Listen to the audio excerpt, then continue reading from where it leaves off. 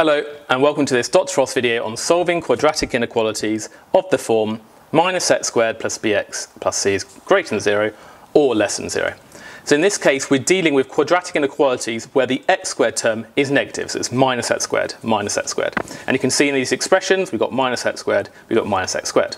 Now there's just one additional first step that we're going to do here and that is basically to turn it into a quadratic inequality where the x squared is not negative, because then we know from previous videos how to handle those kind of questions. So I'm going to write that. So step one is going to be move everything to the side of the inequality where the x squared term will be positive because it just makes it easier. You can do it without doing that, but it's just going to be much harder. So part A, we've got 2x minus x squared is less than 0. Now at the moment the x squared term is positive, I want to move everything to the right hand side because then this minus x squared is going to become positive x squared. So I'm going to add x squared to both sides, so that's going to get rid of this, and we're going to add x squared here. And we also want to get rid of that 2x. So we're going to subtract 2x, so we're going to get minus 2x. And now we're going to have 0 on this side. So basically, if you move everything to the other side, each term gets negated. The 2x becomes minus 2x, and the minus x squared becomes positive x squared.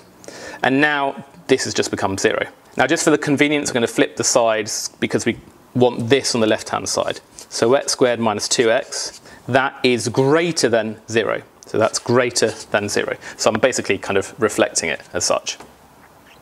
And now we've got a quadratic inequality which is in a more convenient form. What would we usually do next? Well, we would factorize it. So in this case, they both have a common factor of x. So we do x brackets x minus 2 is greater than 0. And then the next step is that we would sketch it. So we sketch it is the x-axis.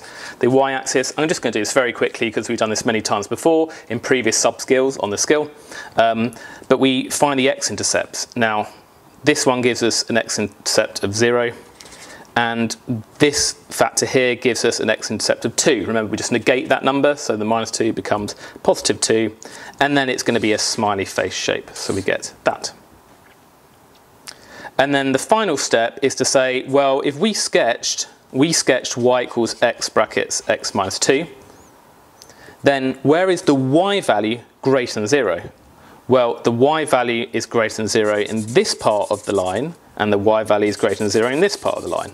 Now, what can we say about the x in this region? Well, the x value is less than 0, or we're in this part of the line where the x value is greater than 2.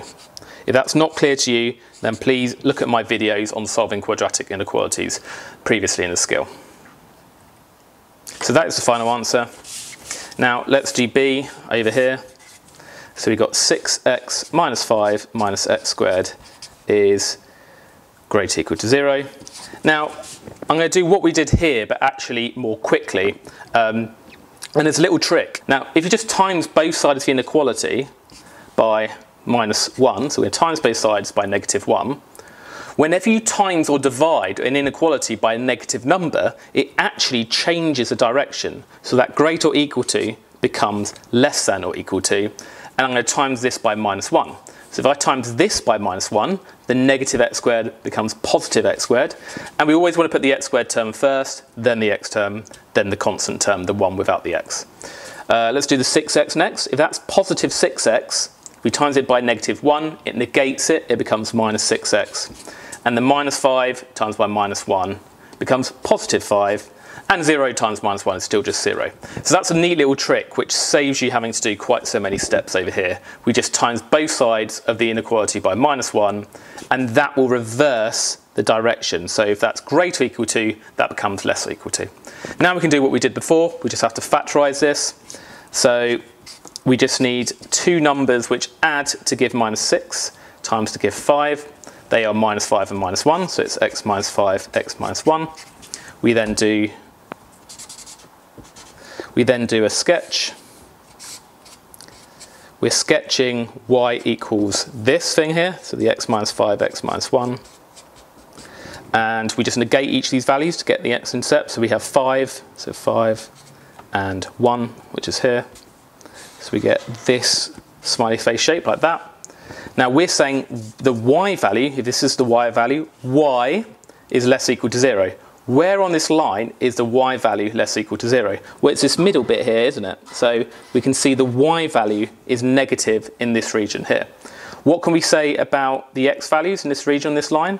Well, we can see all the x values in this part of the line are between 1 and 5. So x is between, that's how we write between, 1 and 5. And that is the final answer. Remember, if that's less than or equal to 0, these need to be less than or equal to as well for consistency. So that's the answer to B.